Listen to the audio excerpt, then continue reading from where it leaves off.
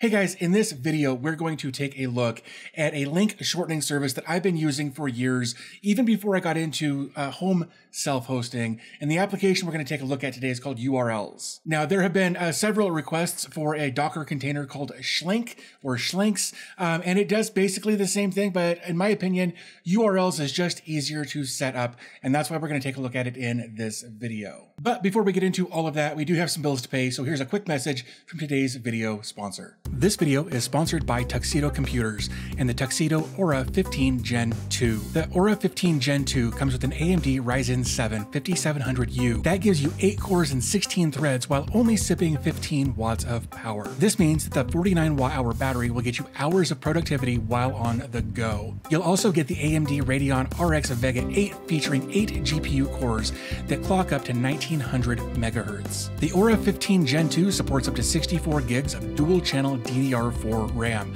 That way you can have as many Chrome tabs open as you need for your productivity. With a thickness of less than 2 centimeters and only weighing in at 1.65 kilograms, taking the Aura 15 Gen 2 will be a breeze. You'll get a 15.6 inch 1080p screen that covers 95% of the sRGB color space with a peak brightness of 300 nits. The Aura 15 Gen 2 comes loaded with I.O. ports, including USB 3.2 Gen 2 Type C full feature DisplayPort 1.4, a USB 3.2 Gen 1 Type A, two USB 2.0 Type A ports, and an HDMI 1.4 port that includes HDCP, 4K UHD at 30 Hz native. You'll also get a gigabit LAN port and a 2-in-1 headphone microphone jack, as well as a micro SD card slot. For more information or to configure your own Aura 15 Gen 2, check out the link in the description.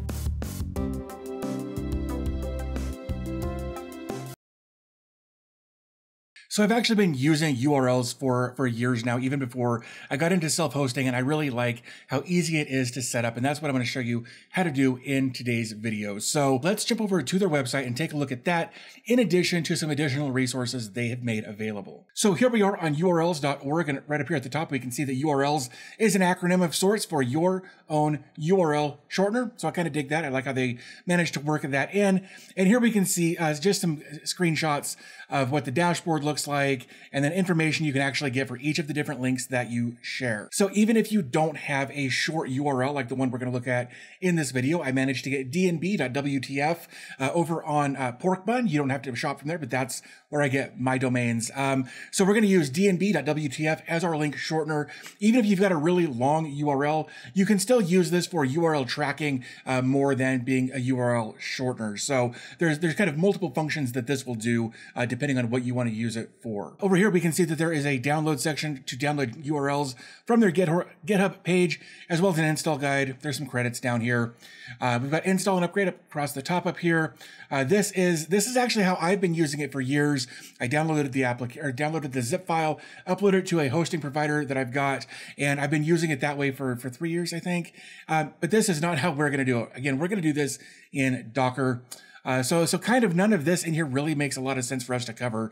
But if we jump over to their GitHub page, um, we can see that there's obviously you can kind of look through the files here and see what's going on behind the scenes. But if we jump over to their GitHub or their Docker Hub page, you can see that this is the official Docker image, 10 million plus downloads, 199 stars. Uh, if we take a look at the tags, uh, we can see that uh, this was updated four days ago, so they are actively maintaining it, and it is available on. Um, uh, looks like the x86 platform, so any of your desktop processors, as well as ARM processors as well. So should be pretty much compatible with whatever you want to throw it on. Um, but if we come back over to the overview page, uh, we can see supported tags and relative, uh, rel- respective Docker files. We've got a quick reference. Again, all of the different uh, supported architectures are all there as well. But if we get into how to use YOURLS. Um, they break it out into all of these different Docker command line um, inputs so that you can deploy it, the individual containers uh, via command line. And I just, this isn't terribly intuitive the way they put this together. So I've gone ahead and put together a Docker Compose that we can just run in Portainer and get this up and running very, very quickly. So this is the Docker instance that I have up and running. Uh, and there are some default uh, URLs in here that were just there for obviously for um, for promotion of their different uh, web assets. You can delete these if you want. Uh, but here we can see the short URL. Basically, it'll be your domain name slash whatever is here. uh, the original URL, the date that it was um, that it was put in here, an IP address. Of course, I'll be blocking those. Um, and then we've got some clicks, like basically it shows how many clicks each URL has received. Now, if I come over here and open these up like so, and then uh, obviously these are all redirecting where, where they want to be redirected, but uh, blog.yourls.org uh, isn't working. They should probably fix that. Um, but if I refresh this page, now we can see that we've got one click on each of them. And if I open this up, uh, here I can see uh, again the the original URL, the short URL, the long URL, traffic stats of the last 24 hours. That was the click that we just did. Uh, all time again will be the same thing, uh, and you'll get more more graphical data here uh, versus just the 24 hour uh, tab that's there. We've got traffic location uh, that's kind of built in natively. Uh, so of course I'm in the United States, so that's where it showed me uh, doing that. But if I were to use a VPN or something like that, or if somebody else were to be hitting this, we might see other countries uh, pop up over here as well. Uh, traffic sources um, refers DNB.WTF. So if you were to share this somewhere else, that would be a refer, and that's what you would get for that information. And then share again the short link, the long link, stats and then the quick share if you wanted to do that. All of that's there. And you can share on Facebook and Twitter. Uh, we do have an admin interface over here we can take a look at.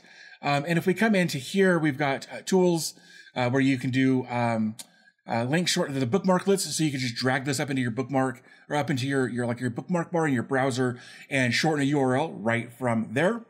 Uh, you've got social bookmarklets, uh, prefix and shorten, a secure password passwordless API call, uh, we've got plugins up here as well uh, to allow hyphens in short URLs. I always activate that.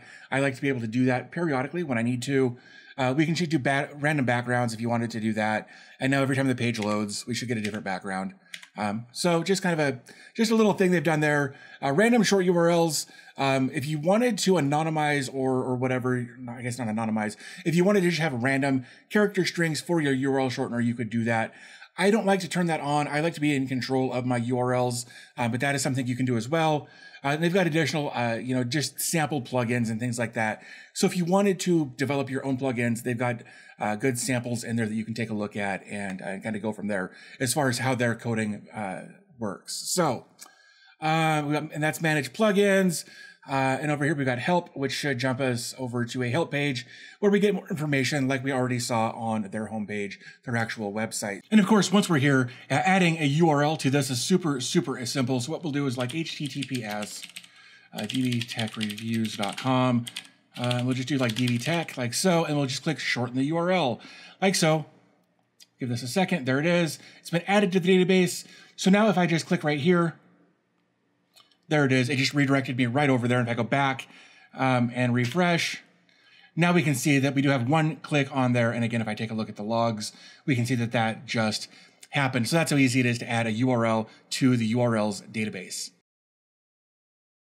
With all of that out of the way, uh, of course, you will need a domain name for this to work. You'll also need some sort of a reverse proxy, uh, again, whether it's Nginx Proxy Manager, Caddy, Traefik.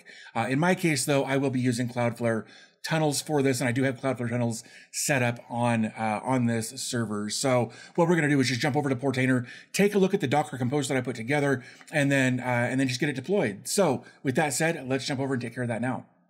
So here we are in Portainer, uh, and we're going to go ahead and jump over here to Stacks. Uh, we can see that I actually have been looking at Shlink.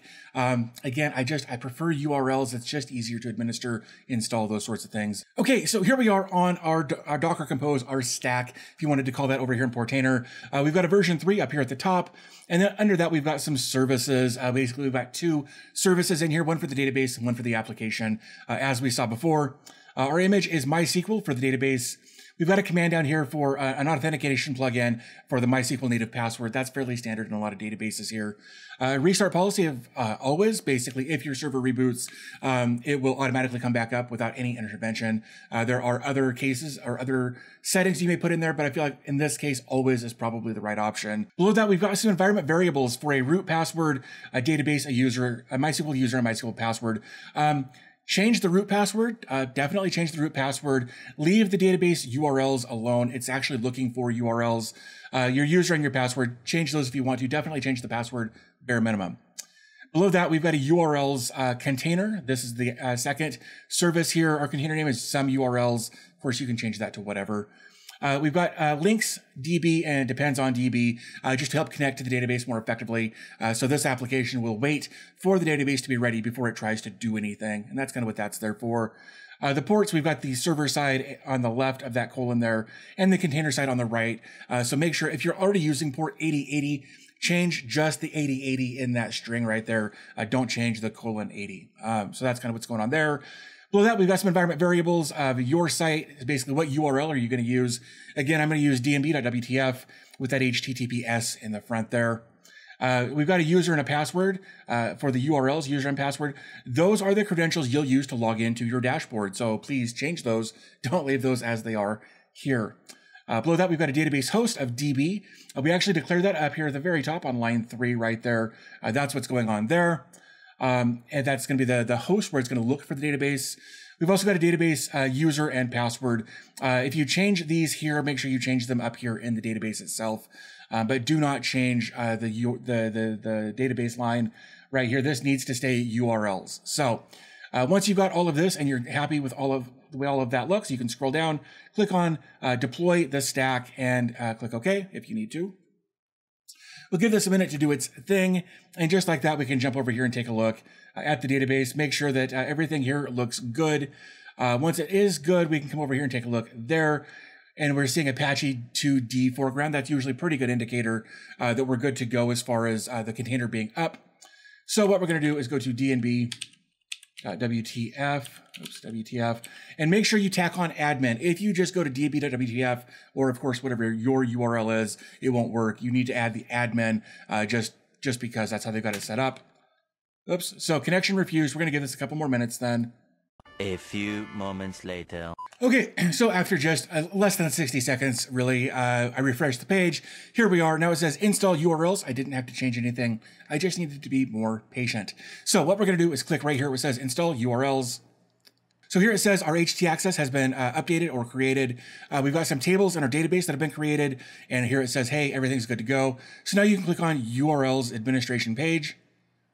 And here we are. Uh, it just automatically logs you in for the first time. Of course, moving forward, you would need to log in and out appropriately using the username and password that you created in that Docker Compose. So that's it. That's how easy it is to get YOURLS up and running so that you can have your own link shortener with some, some actual data about how many clicks each link is getting, kind of where those uh, clicks are coming from, theoretically, of course, a lot of people these days are using VPNs, but it should give, give you a rough idea at bare minimum how many different clicks you're getting on each of your different URLs. Um, and again, all of this will be available in the description down below if you'd like to go ahead and uh, follow along using the Docker Compose that I created. Um, and of course, as I've mentioned in previous videos, you know, I do have bills to pay, so I take on sponsors to help me pay those bills, as well as, you know, putting ads from YouTube on my videos. If you're interested in supporting the channel, uh, you can do that by becoming either a channel member for a few bucks a month. That's just kind of how YouTube runs things. But if you join my Patreon or dbtech.fans, you can join either of those for a dollar a month and get ad-free access to all of my content over the past few months, uh, once, since I've started kind of doing this, uh, this membership thing. Uh, so again, if you'd like to get uh, ad-free access to my content, uh, you can do that for as little as a dollar a month, less in some cases, depending on how far in advance you want to pay. So uh, with that said, I'm going to go ahead and wrap this up. I do want to thank you guys for spending a few minutes of your time with me today, and I will talk to you in the next video.